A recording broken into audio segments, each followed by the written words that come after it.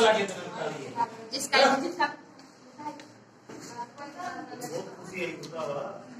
हाँ भाई कैसे पता लगा कितना नंबर काली पूर्ण वर्ग है नहीं है।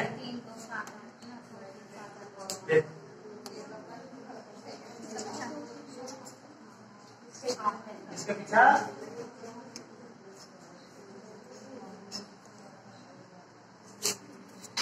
अब पूर्ण वर्ग संख्याएँ आ गया? दो तीन सात आठ। तो इसका इकाई सम कितना है? इतना आप मुझे सोचोगे ना पुत्र पुत्र पच्चीस तीन तीन नौ और दो दूनी चार। ये तो छोटी रकम है। ये तो छोटी है ना? जब मान बड़ी रकम फिर कैसे सोचोगे? इसका इकाई का दो तीन सात और एक ज़ीरो। तीन ज़ीरो।